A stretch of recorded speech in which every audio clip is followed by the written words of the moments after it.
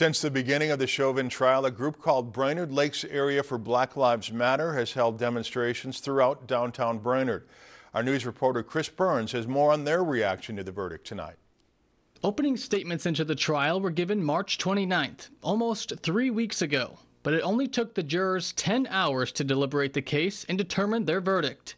Such a quick response had some members of the community concerned. Half of me was thinking, okay, this is it. We got something locked and loaded. Um, and the other half of me was really scared. The prosecution and jurors were the first ones in the courtroom after reconvening this afternoon, followed by the judge and the defense.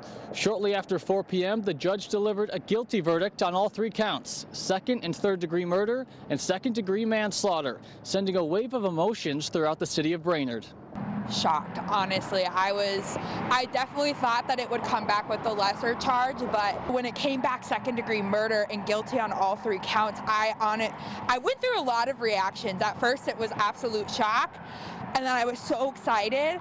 It was intense. I guess I was kind of overwhelmed because um, on one hand I was really happy.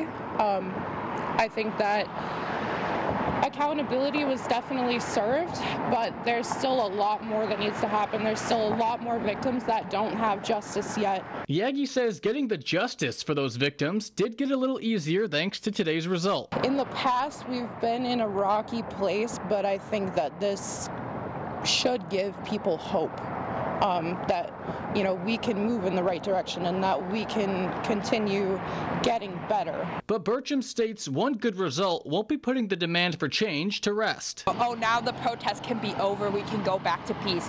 No, this is just the beginning. Daunte Wright and Adam Toledo, two victims of police brutality in the past two weeks.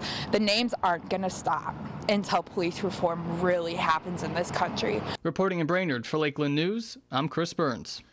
BLA for BLM says they are planning on hosting events this week, bringing awareness to the result of the verdict.